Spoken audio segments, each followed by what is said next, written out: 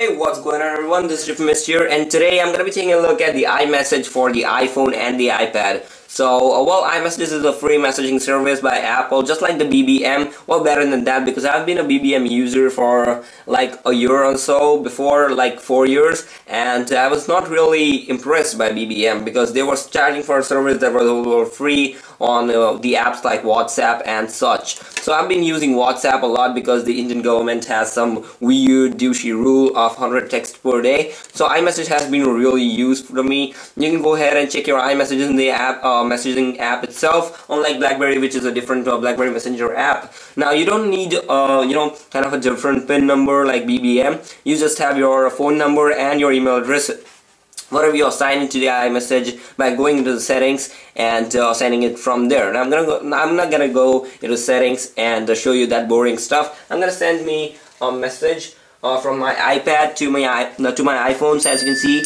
uh, this just popped up and I can go ahead and click that and well uh, these are my messages that I sent from my father's iPad so this is a really simple method to you know kind of uh, check it out. Uh, you can also see whether the person is typing or not by the notification right here. So as you can see the person is typing.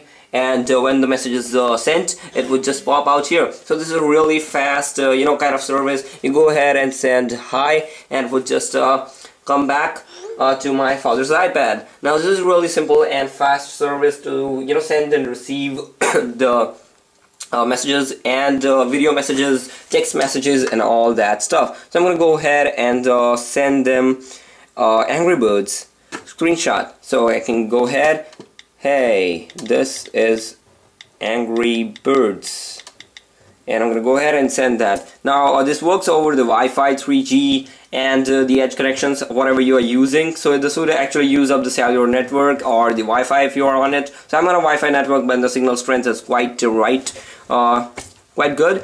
So uh, let's see how much time it takes. Now this is a full resolution image so it's gonna it's gonna be taking a quite a time. And uh, I've used this for sending like a thousand images a day. So this is this works really fast guys. This is uh, totally recommended. So as you can see uh, the image just went and uh, well it just came on to my father's iPad. So this is a really fast service and uh, I totally recommend it over BBM so if you are a user who's looking forward to get a new phone and uh, is already a BBM user don't want to leave that so I'd probably uh, recommend using this because this is rather fast this is free and the best of all this is integrated into the messaging app itself so uh, it's been all about the iMessaging service so uh, this is really simple. You can also have your delivery notifications on. So if uh, when you receive a message or when a friend receives a message and kind of reads it up, you can have a delivery notification on your phone that the, a friend has read the message. So that's another feature. And that's pretty much about the iMessage itself, guys.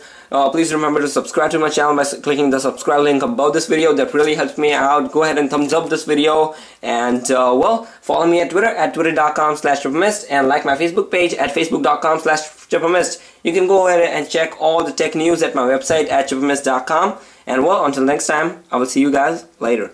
Peace.